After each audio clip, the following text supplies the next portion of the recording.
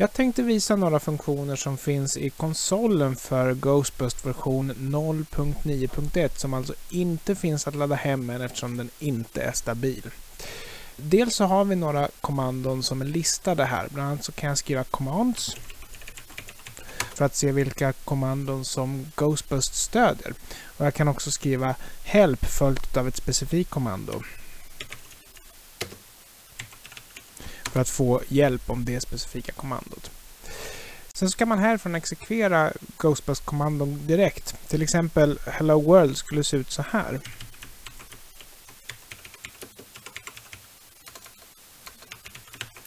Och om jag då vill så kan jag skriva ett program som slänger ut Hello World i konsolfönstret i en evighetsloop.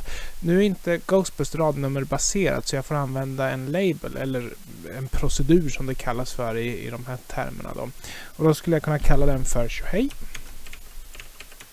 Så kan jag säga att det jag vill göra i proceduren är att skriva ut Hello World. Och sen så vill jag säga att jag vill upprepa det här så då använder jag GoTo. Sen måste jag ha en bolin eller en bit som är positiv. Annars så kommer GoTo inte att utföra någonting. Och så talar jag om vilken procedur som ska utföras på nytt.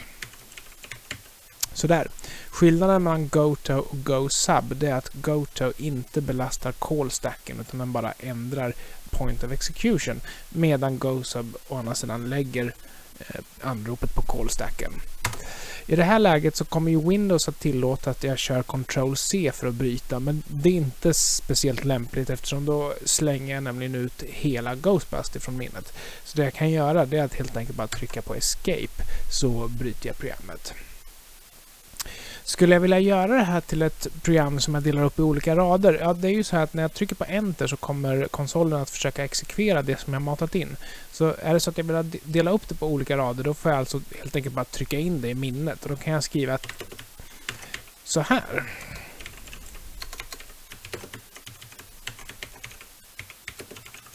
Det helt enkelt säger att eh, jag vill lagra på position 10 att det är tjohej. Jag kan inte skriva GoTo 10 eftersom, eftersom språket inte är radnummerbaserat. Men jag lägger in min, min label eller min procedur där.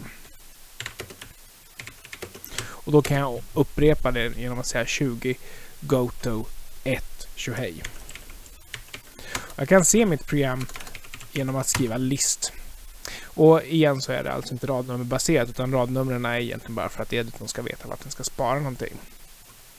Och kör här med run, då ser jag att jag har samma funktion, funktionalitet.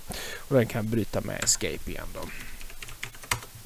Om jag skulle vilja komplettera det här programmet med, säg att jag bara vill iterera 20 gånger, så kan jag skjuta in en rad först. Då kan jag säga ett, ett tal som är lägre än 10, till exempel 5.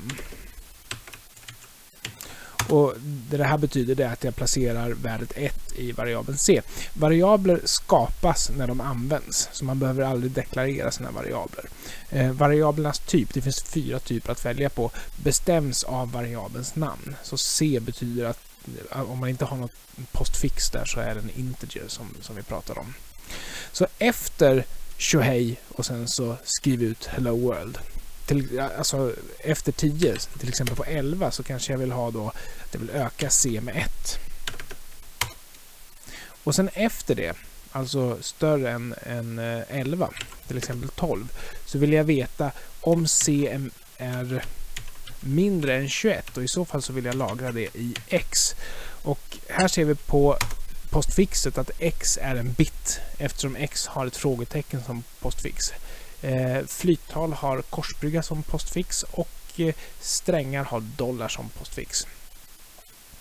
Och då kan jag i mitt program se nu, nu har jag ju fortfarande en evighetsloop här, men jag kan ersätta rad 20 med att säga 20 GoTo och sen så säger jag inte hårdkodat 1 utan jag säger X frågetecken, alltså om X ska han hoppa till 20. Så. Och eh, om man vill ha lite ordning och reda så finns det möjlighet att köra ett kommando som heter renumber. Och eh, ni som har ägt en Commodore 128 kan ju konstatera att jag har snott konsolkommandona rakt av därifrån. Då. Och då kan vi alltså se att första kommandot lagrar 1 C. Det andra skriver ut Hello World i proceduren tjohej. 30 ökar C med 1 och sen så 40 lagrar huruvida C är mindre än 21 i X och om X går vi till 20.